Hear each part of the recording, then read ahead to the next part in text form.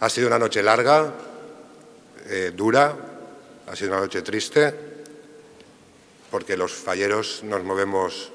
por los sentimientos, es el sentimiento el que nos hace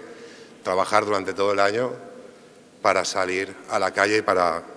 sacar lo mejor de nosotros eh, al festival de arte urbano más importante del mundo, permitidmelo. El corazón no, no tiende a veces a razones, pero las medidas sanitarias, las autoridades sanitarias y los informes sanitarios estaban absolutamente claros, estaban encima de la mesa y lo primero es lo primero y lo que es irrefutable, pues lo es. Sé que somos un, colectivo responsable, consciente y que, como se ha demostrado hasta ahora, con todos los que me he podido reunir, pues acataremos sin ningún tipo de duda las recomendaciones eh, de las autoridades sanitarias.